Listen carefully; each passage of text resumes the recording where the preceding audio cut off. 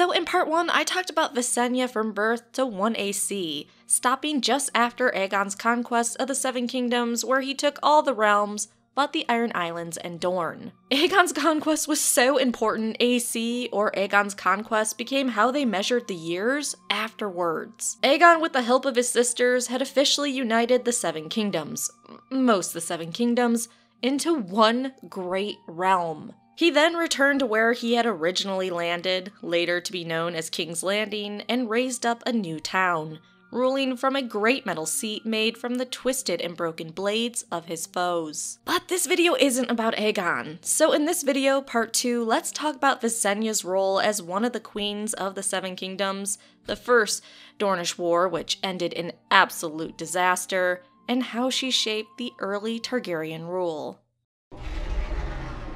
In 1 AC, at the age of 29, Visenya became one of the queens of the Seven Kingdoms, along with her double sister Rhaenys, who was about 25 years old at the time. Of course, both of their husband and king was Aegon, who was about 27 years old. Aegon had decided that he would rule from Aegonfort, where he had landed, and the new city growing around it became known as King's Landing, because, as you know, George R. R. Martin is really creative with names. This royal city, crowded, muddy, and stinking, and always full of activity, rose up around Aegonfort and would grow to surpass the great cities of Oldtown and even Lannisport. Visenya even got her own hill, named Visenya's Hill, where a Grand Sept was built by money given by the High Septon. This Grand Sept replaced the original makeshift cog one on the Blackwater that had served the common people. At Aegonfort, sitting on his iron throne made from the swords of those he conquered, Aegon now faced the tremendous challenge of ruling the new realm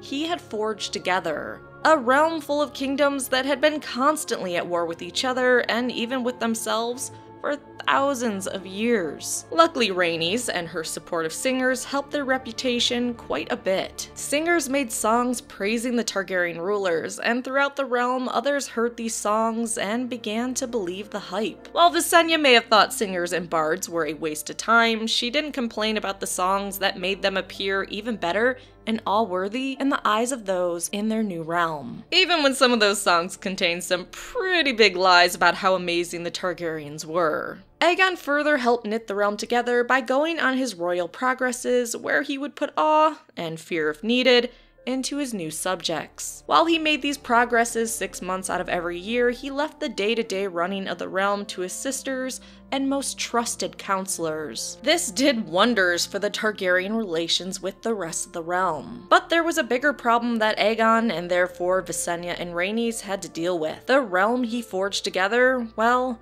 wasn't actually completely forged together. The Iron Islands were in a state of chaos after the Targaryens had killed Harren the Black, and Dorne still refused to submit. In knitting more of the realm together, it was time in 2AC to bring the Iron Islands into the fold. Even if the majority of the Seven Kingdoms really, really hated the Ironborn, which Aegon did successfully, and the Iron Islands was folded into his new kingdom. But this wasn't good enough for Aegon. He wanted Dorne to come into his new realm as well. This led to the First Dornish War in 4 AC, a war that would take away the thing Aegon loved the most and end in absolute disaster.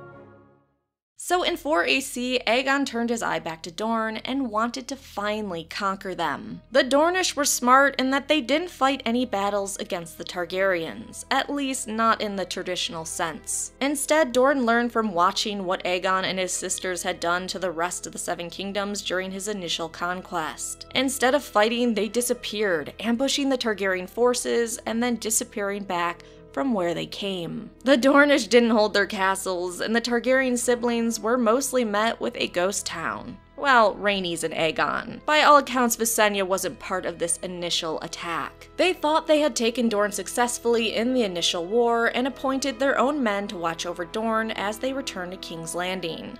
Well, Dorne was anything but secure. Shortly after Aegon and Rhaenys returned to King's Landing, they heard that the Dornish lords had rebelled against the Targaryens and the men they placed in Dorne to rule it. By 5 AC, Lord Tyrell, who was in charge of putting down revolts, disappeared in the sands with his entire army, just gone. Entire garrisons of the Targaryen men were mutilated and tortured in horrific ways. In 7 AC, the Targaryens' men that were captured and not killed during the rebellion were ransomed back for each man's weight in gold. But they were each missing their sword hands, so to never take up arms against Dorne again. Understandably, this pissed the Targaryens off. Aegon and his siblings set fire to the castles that refused to submit over and over. The Dornish responded by, well, also burning things. On the third time the Targaryens released their dragons on Dorne, tragedy struck for their family. Unfortunately, Rhaenys died during this time in 10 AC when her dragon was shot down over Hellholt. The death of Rhaenys during this war caused the two years afterwards to be labeled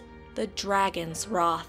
Both Aegon and Visenya, devastated at the loss of their sister, took their dragons and set every castle, keep, and holdfast in Dorne, besides Sunspear in the Shadow City, on fire at least once. It is thought Sunspear was spared because the Targaryens feared they had anti-dragon weapons. But another thought is they did it to make the rest of Dorne believe the Martells had paid for their own safety and abandon the rest of Dorne. If that actually was their plan, it didn't work out the way they thought it would. Not only that, but Visenya and Aegon put prices on the heads of Dornish lords, resulting in six plus Dornish lords being killed by assassins. But it was this action that also made the Dornish send their own killers in return, which led to even more bloodshed. This resulted in Visenya and Aegon being targeted quite a few times. In one case, Visenya and her escort were attacked, and two of her guards were slain before she cut down the last of the attackers with her sword Dark Sister, and many others met gruesome fates from the Dornish assassins. Now, and this might sound terrible to say, despite a lot of bloodshed coming from this last part of the Dornish War, there was also some good. It resulted in the formation of the Kingsguard,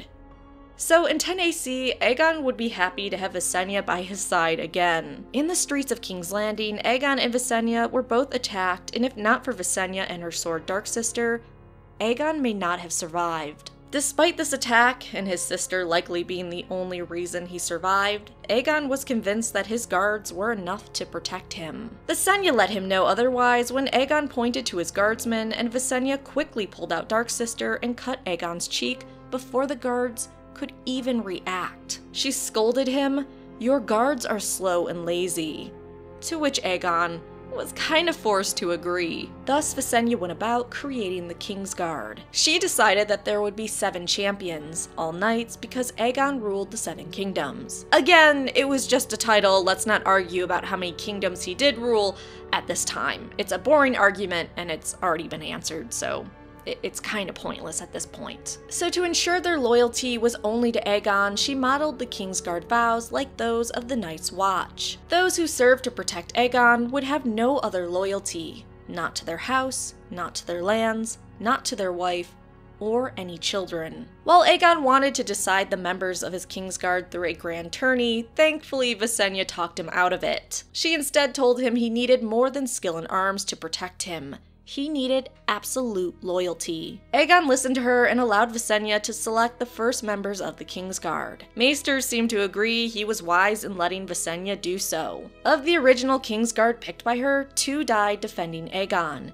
and all served to the end of their days with nothing short of honor. Thankfully, the Dornish War ended in 13 AC when Princess Meria of Dorne died and her aged son took over. The Prince of Dorne wanted nothing to do with the war and instead sent a delegation to King's Landing, led by his daughter, carrying the skull of Meraxes, which had been Rhaenys dragon. Once at court, many did not like this gift. Visenya was one of those people, though others had a stronger reaction than her. Despite the anger over this gift, Aegon instead listened to the Dornish party's words. However, it was a private letter given to Aegon, and only read by him, that resulted in a peace treaty between Dorne and his kingdom. What did this letter say?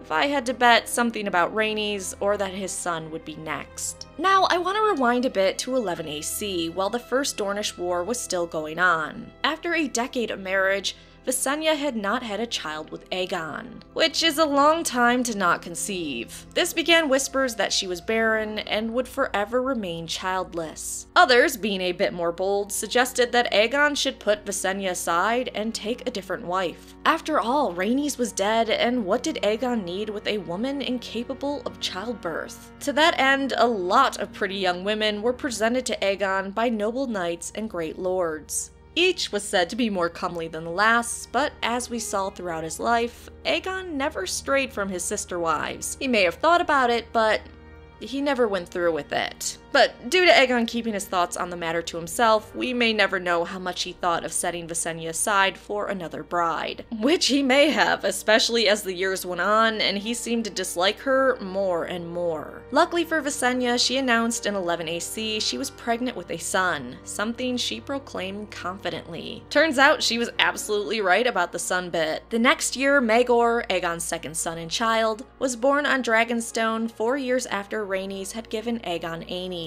From the birth of Maegor, Visenya would be his greatest ally, constantly trying to advance him above her nephew stepson, Aenys. Which is exactly what we'll talk about in the final part, part 3. Visenya raising Maegor, allegedly killing her nephew stepson, and how her ambition made the realm bleed.